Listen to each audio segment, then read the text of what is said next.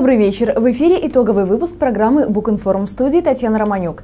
Как всегда, в субботу мы напомним вам о самых главных моментах недели ушедшей, расскажем и о новых событиях не менее важных и интересных. Сегодня в выпуске. Большая энергетика в малых городах.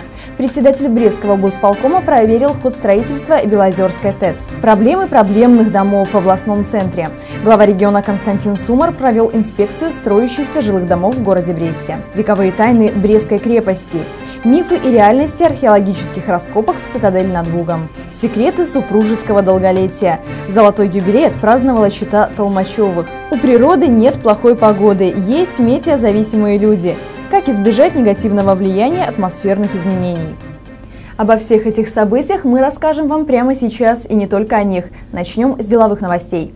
Вопросы, касающиеся энергетического комплекса Беларуси, находятся под пристальным вниманием главы государства. Александр Лукашенко указал на особую значимость энергетики для успешного развития экономики страны. Цитата. Энергетический комплекс, безусловно, является одной из ключевых, стратегически важных отраслей экономики.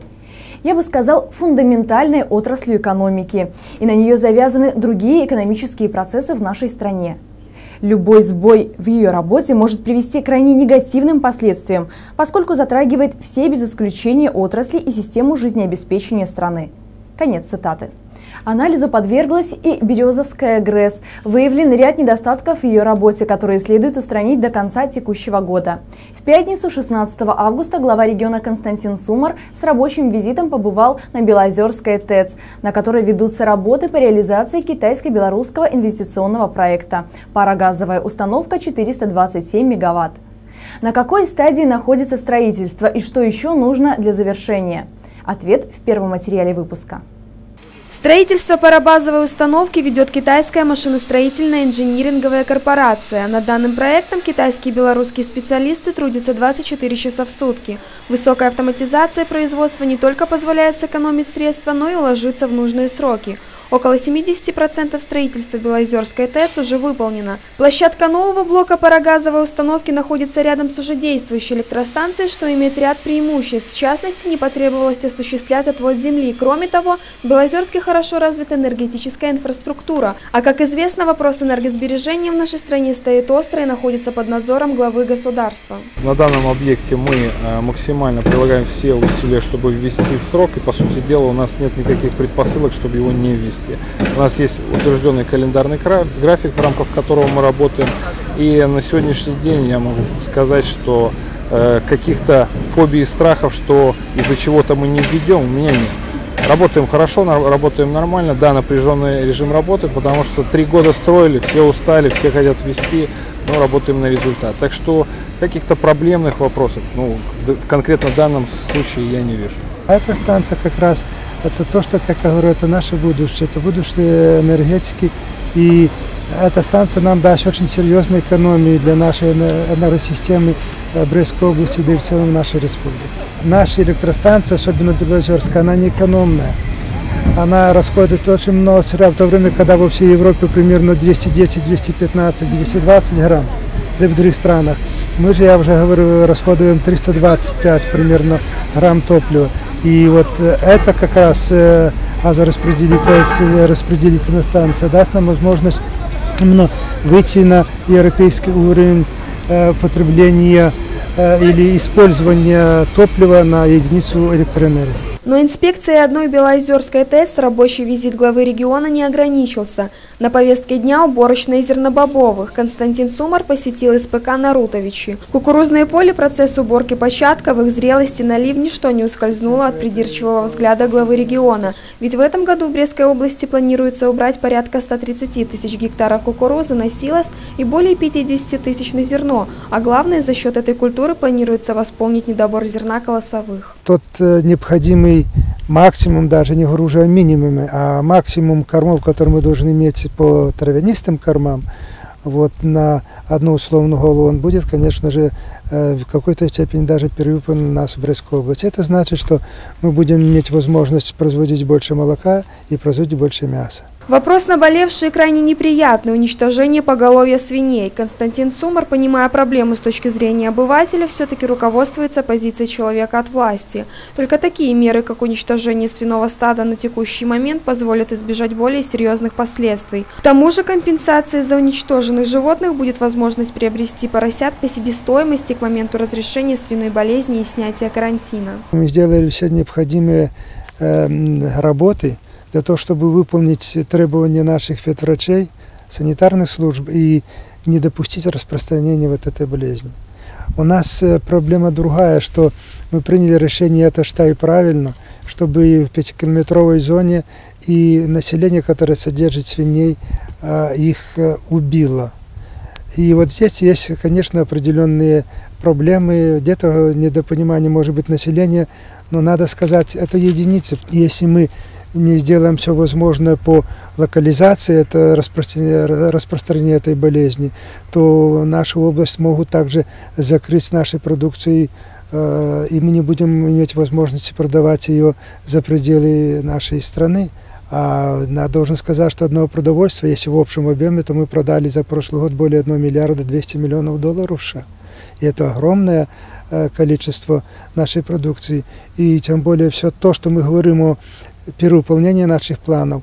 Это все идет именно, должно реализоваться за пределы республики, потому что для нас э, хватает примерно 40% того, что мы производим. Все остальное работаем на внешний рынок. Кристина Лесник, Виктор Халявка, Антон Луговкин специально для итоговой программы. На этой же неделе, во вторник, 13 августа, глава региона Константин Сумар и мэр областного центра Александр Полышенков проинспектировали ряд строящихся объектов города Бреста, находящихся в различной степени готовности. Под пристальным вниманием, конечно же, оказались проблемные дома с затянутыми сроками строительства. Во время рабочей поездки говорили и обсуждали много вопросов, но самое главное – это сроки строительства и объемы финансирования, а также оптимальные варианты решения возникших в отрасли проблем. Удастся ли выполнить все распоряжения главы региона? Ответ в следующем материале выпуска итоговой программы. Брещина всегда была и остается самой строящейся областью Беларуси. Чтобы не говорили, как бы не сетовали, предвзятые оценщики, строительство ведется. Да, есть просчеты и недоработки, есть проблемы, но есть в большинстве случаев и причины на то. Сегодня в регионе к разряду проблемных, то есть затянутыми сроками строительства домов, относятся 33 объекта. Пять из них в областном центре. Все пять посетили в ходе инспекционной поездки глава региона и мэр города Бреста. На строительной площадке в Северном Северном городке, которая включает 8 жилых домов, заслушав доклады маститых строителей, руководителей строительных компаний, а также лично пройдясь по этажам, Константин Сумар отметил высокую степень их готовности, а самое главное – качество, которое, несмотря на все проблемы, соблюдается. Спрос за это будет жесткий. Качество, я должен сказать, неплохое у нас в области. Строители уже научились строиться, хотя тоже есть шероховатости. А что касается жесткости, то я же вижу, что иногда они хотят, чтобы им дали какую-то душину. Там, где не должно быть, там, где по срокам, по технологии, с качеством эти работы можно выполнить и выполнить срок. Поэтому мы так и ставим задачи, чтобы не рассчитывали на какой-то перенос. Вот и все. Каждая строительная площадка подверглась детальному анализу. Проблемы, их причины, устранения, сроки. Вот главное, на что было обращено внимание губернатора. До конца года все 33 дома должны быть введены в эксплуатацию. Отговорки в расчет браться не будут. Сроки переносить также никто не станет. Это вердикт. Что касается окончания их, так вот эти 33 дома, которые у нас считается ну, как многоквартирные дома, и которые надо заканчивать в этом году, они все будут закончены в этом году. Проблемные дома, о которых тоже наслышана вся наша страна, это Обликовские, Гипопотамуса, там и они тоже, вы видели, вот сегодня они очень хорошей готовности, и в принципе по ноябрю месяц они все будут сданы. Долгостроев на Брещине больше не будет. Что касается обликовских, набивших оскомину домов, губернатор подчеркнул, что за три года области удалось закончить строительство четырех домов. Если бы на оставшихся объектах не было проволочек с оплатой со стороны членов кооперативов, дома могли бы быть сданы еще год назад. Неоднократно во время рабочей поездки Константин Константин Сумар говорил о домах повышенной комфортности, которых в области строится достаточно много. Кто может платить бешеные деньги за квадратные метры, пусть строят. Другое дело, если речь идет о льготном кредитовании жилья для нуждающихся. Что касается кредитования, тем более льготного кредитования для нуждающихся, которые дает государство, то мы говорим о том, что мы должны построить, чтобы там было удобно жить, но без излишеств. Подземные гаражи, другие какие-то навороты. Ну зачем это нужно? А это очень много надо денег затратить уже для того, чтобы ту квартирку уж построить. Поэтому от этого будем уходить и сейчас с этого дома. Ну, в принципе, вот все дома, которые строятся с поддержкой государства, они должны быть комфортные, удобные, но без излишеств.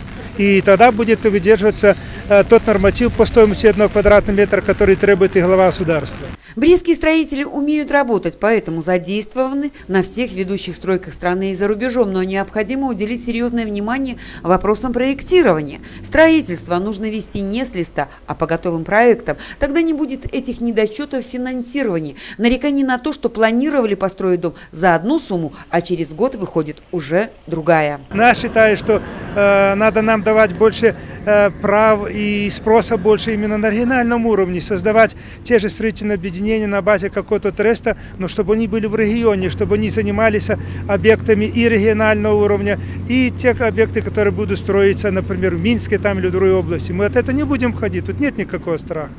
Вот я на это надеюсь, что мы полностью проведем э, нормы наши в то русло, которое давно уже нас президент э, требовал от Министерства строительства переходить на европейский уровень и проектирования, и нормирования. Последний пункт инспекционной поездки – западный обход. Срок сдачи первой очереди – 1 сентября. Конечно, журналисты не смогли не узнать, сроки будут соблюдены. Как мы и говорили, к 1 сентября полностью этот обход пойдет в строй.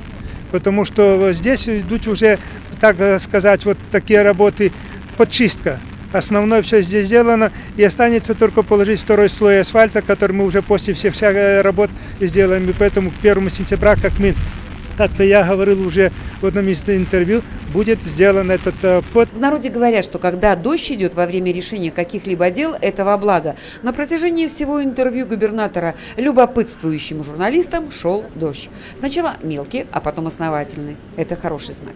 Лариса Осмолович, Андрей Щерба, Антон Луговкин. Специально для итоговой программы.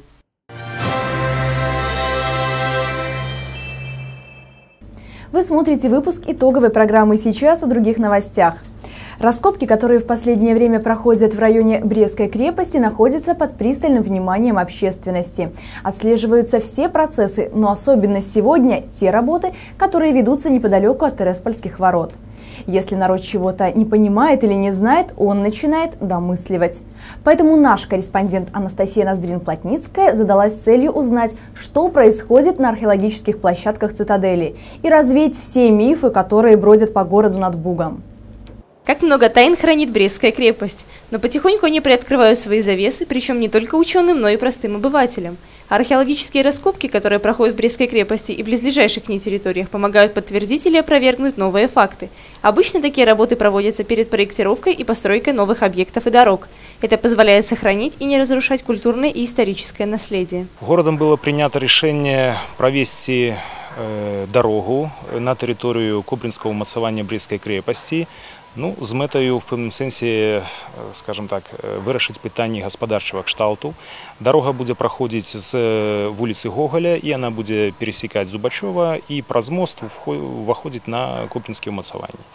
В сувязі з гэтым робится документация, проектная документация, в рамках якой необходимо провести археологічне дослідження той території, по якой буде проходить дорога. Одна из последних уникальных находок – фундамент фасадной стены Михайловского проезда 1834-1836 года постройки. Здание было частично разрушено в 1944 году, когда саперы попытались его разминировать. Внешний проезд был очень похож на северные ворота. К сожалению, найти археологам удалось лишь фундамент, который, кстати, хорошо сохранился. В ходе наших археологічних досліджень мы высветлили, что рештки внутренних помешканняў вала, які прымыкаў свой час да аднаго з першых уездаў з усходу гэта михайлаўскай брамы яны захаваліся в добрым стане і знаходзяцца неглыбока літаральна 20-30 сантиметраў ад паверхні і знаходзяцца яны на пластах больш раньш, ран, ранейшего походжання. У Тереспольских ворот также проводятся раскопки под руководством Александра Башкова. Работы серьезно контролируют саперы, ведь никогда не знаешь, чем придется столкнуться. В будущем они помогут точно восстановить мост, функционировавший более ста лет назад.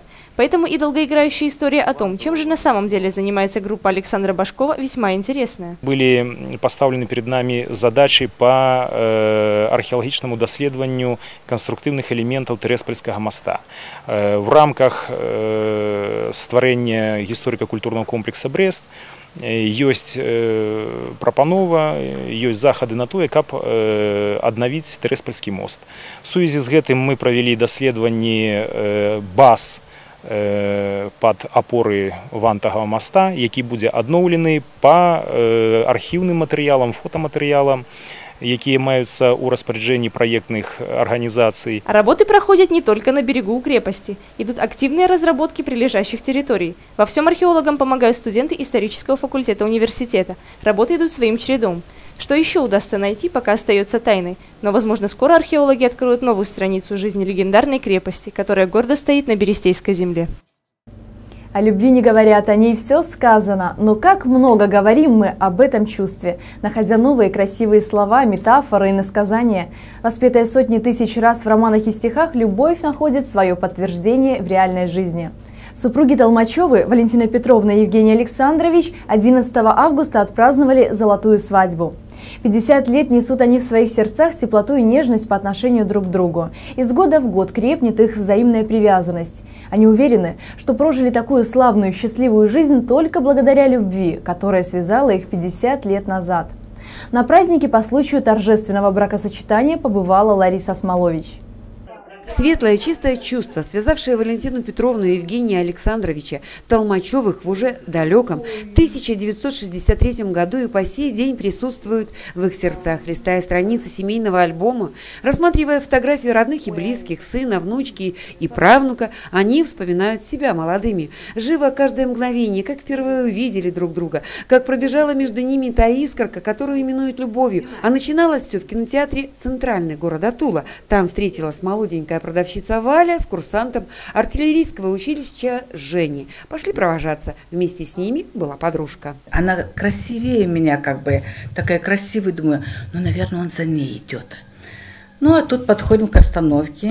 Значит, Вале надо было ехать на автобусе. Подходит автобус, она села, а он остался. Думаю, а чего он остался? С ней не поехал. А сердечко не ёкнуло? Думаю, ну не пойму, в чем дело. Ну и что? Гляжу, значит, Вале помахали, мы ручкой, все. Ну и я уже иду. А и он за мной плетется.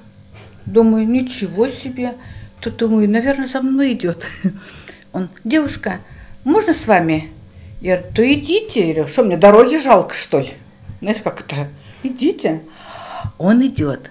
Идет, потом, значит, я уже дошла до дома, а он говорит, а можно вас э, встретить э, завтра или когда там? Я говорю, ну можно вообще-то. Ну дайте номер телефона. Позвонил. Начались первые свидания, встречи, а потом свадьба. Без золотых колец, без шикарных застолий. Он в военной форме, она в скромном платьице. Но не в этом суть. Шли все 50 лет бок о бок. В их жизни было все. И трудности, и радости. Ведь не зря говорят, жизнь прожить, не поле перейти. Пережили, да. Все пережили. Пережили, все было. Все было. было хорошее, было плохое. Были под бомбежкой. Да в Египте, да, ну, в Египте вот, жили, во время бомбили, военных вообще. событий. Так что все. Мы оттуда приехали седыми. 67 год. Война была. Война. Да, поэтому все было. Вот для молодым людям, что можете сказать вы, Валентина Петровна? Ой, чтобы они уважали друг друга, понимали друг друга и любили друг друга. Все. Евгений Александрович. То же самое, что я что могу добавить. Ничего. И чтобы они, молодые люди, не забывали родителей. Вот. Не забывали. Потому что они сами тоже могут. Они та, тоже сами будут когда-нибудь такими старенькими, как и мы. Да. И поэтому, чтобы они не забывали родителей своих. Все. Все стойко переносили, вместе. И сегодня считаю, что помогала преодолеть все невзгоды любовь. А еще время было такое, когда испорченное чинили, а не выбрасывали на свалку. Это, к слову, о разводах. Самое главное в семейной жизни, Евгений Александрович, на ваш взгляд, мужской офицера такого, э, самое главное в семейной жизни что? Чтобы понимали друг друга. Любовь. А уже любовь потом придет. Да. А если не будут друг друга понимать, это будет не любовь. Это будет, ну, бутафория. А на ваш взгляд? Ну, то же самое понимание. Да. Чтобы понимать друг друга, ну и прощать друг друга, если что-то такое, конечно. Ну, Иногда злишься, конечно. Ну, что делаешь? Ну, надо прощать. Поэтому судьба подарила им праздник, который дано отметить очень немногим. Как награда за бесконечную верность, любовь и терпение пришла к Валентине Петровне и Евгению Александровичу, к людям, особо отмеченным судьбой золотая годовщина свадьбы. Не зря символом этого юбилея стал самый чистый, твердый и драгоценный металл – как сказала пожилая героиня одного старого фильма, среди людей встречаются утки и лебеди. У серой кряквы новая пара каждый год, а у белокрылых птиц одна на всю жизнь. Вера Петровна и Евгений Александрович Толмачевы, несомненно, белые прекрасные лебеди. Мы так дружили, что мы не чувствовали этого расстояния. Мы отдыхали вместе, и в санаторий ездили вместе, на Черное море ездили вместе. Мы очень много-много дружим, давно дружим. Это прекрасная пара, прекрасная пара. И только пример можно брать. Это как огонь и пламень. Огонь это Валентина, огонь и вода. Ага. Женя, он такой экстравагантный, он такой вспыльчивый, Валентина Петровна, одно спокойствие. И вот они уживаются, и я считаю, что на этом противоречии двух таких э, стихий. стихий, вот у них это такой получился э, прекрасный брак. Золотая свадьба. Дана, э, дано жить я считаю, что и дожить до этого праздника только избранным Богом людям. Потому что что золото ценится, как золото? Это прочность и ценность. Вот им это и присуще. Они создали очень прочный союз – и самое важное – это их отношения. Золотая свадьба. 50 драгоценных лет. Эта дата означает, что уже никто и ничто не в силах расторгнуть столь длительный брак. Муж и жена обмениваются кольцами, и звучит долгая горько, которая кричат золотым новобрачным их сын, внучка и правнук, родные и близкие. Ведь на таких праздниках очень много гостей. Тем, кто прожил вместе столько лет, есть с кем разделить свою радость. Я бы хотел, как сын, так сказать, золотых юбиляров пожелать молодым семьям для того, чтобы пронести это чувство, ради которого они встретились и вчера зарегистрировали свой брак, называемый любовью, надо многое. Надо запастись терпением. Надо научиться уступать друг другу и уважать друг друга.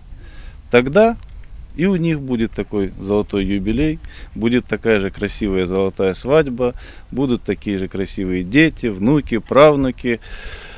В общем, молодым семьям я желаю дожить в совете и любви до такого же золотого юбилея. Ну, а золотым юбиляром здоровья. Знаю, что бабушка и дедушка очень любят друг друга. Я, мне кажется, что с их семьи можно брать пример. Вот э, так как они прожили свои 50 лет, я думаю, что если мы со своим мужем так проживем, то это будет очень замечательно. Они такая пара, которой молодежи нужно брать с них пример. Пожелаю также любить друг друга, уважать, ценить здоровье крепкого. Вот. Ну и чтобы они еще долго радовали нас своей семейной парой такой счастливой. Жизнь супругов Толмачевых – прекрасный пример любви и взаимопомощи. Узы брака не стали для них цепями, а превратились в тонкие золотые нити духовного родства. Благодаря взаимной поддержке жизненные тяготы не согнули спину Евгения Александровича, а глаза Валентины Петровны благодаря любви супруга сверкают бриллиантами. Человечные добрые. Друг друга хорошо подошли. Обычно очень много разводов. Все нормально. Среди военных тоже много разводов бывает, но у них такая семья стабильная. Самое главное в супружестве что? Верность, любовь. И тогда все остальное приложится. А все остальное идет сюда до кучи. Евгений Александрович просто вот ее половинка в самом деле. Не потому, что она, кто-то сказал, терпеливая. Она трудолюбивая, терпеливая. И вот этот труд жизни, не только труд потрудиться в огороде, а именно труд совместной жизни, сохраняет их брак. Я желаю им прожить еще столько же. Как весенний паводок, быстро прошли 50 лет семейной жизни. Годы доказали, что Валентине Петровне и Евгению Александровичу Толмачевым присуща мудрость, чувство ответственности, преданность семье, еще доброта, щедрость души, высокая порядочность и, конечно, любовь. Мы счастливы. Нам удалось прожить 50 лет вместе и будем еще продолжать 50 лет вместе жить. Лариса Осмолович, Александр Воронин, Антон Луговкин специально для итоговой программы.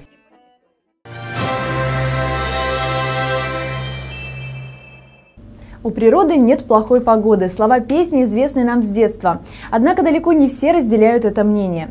Согласно данным статистики, от погодных капризов страдают около половины населения земного шара. Головная боль, слабость, быстрая утомляемость или же просто плохое настроение – это далеко не все прелести, которые в медицине принято называть метеочувствительностью. Что это? Болезнь или всего лишь временное недомогание? И как научиться жить с метеочувствительностью? Ответ вы узнаете в нашем следующем материале. Вера Пастушенко – метеоролог со стажем. Наблюдает за капризами погоды без малого 35 лет. За это время женщина успела не только послать тысячи метеотелеграмм в гидрометеоцентр страны, но и в прямом смысле слова прочувствовать на себе все причуды погодных явлений. Чем становится человек старше, тем, да, и я тоже в том числе при пониженном давлении в атмосфере мне тоже очень плохо, как бы состояние плохое. Болит голова, э, состояние такое, ну, скажем, нехорошие. Симптомы знакомы каждому третьему жителю нашей планеты.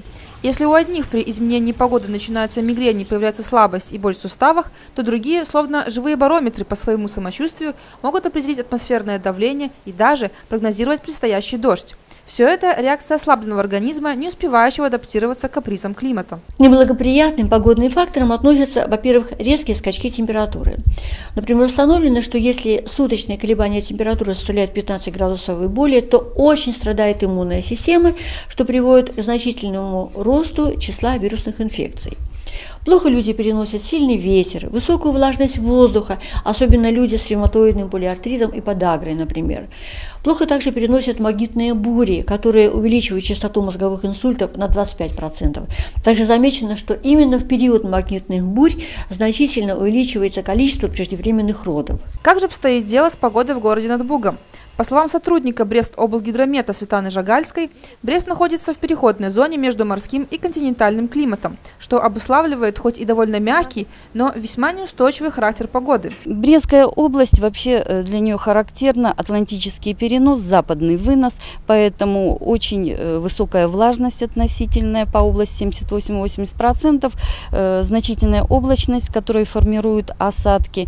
И все это, на основании всего этого можно можно говорить, что Брест находится в зоне э, достаточного увлажнения. На приближение циклона, предстоящую бурю или дождь, реагирует около 75% сердечников.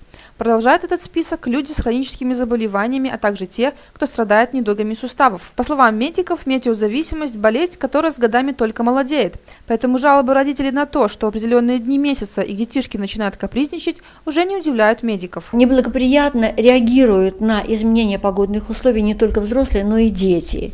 Перегруженные уроками, долгим сидением перед компьютером и перед телевизором. И обычно в, в эти периоды они говорят, что у них болит голова, они очень быстро устают, у них плохое настроение, они эмоциональные. Их тоже нужно от этого оградить. Официального диагноза метеочувствительность не существует, но все же погода действительно влияет на наше самочувствие, причем не всегда наилучшим образом.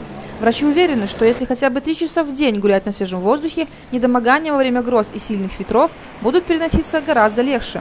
А если пополнить рацион здорового образа жизни закаливанием, правильным питанием и другими полезными привычками, метеозависимость и вовсе отступит.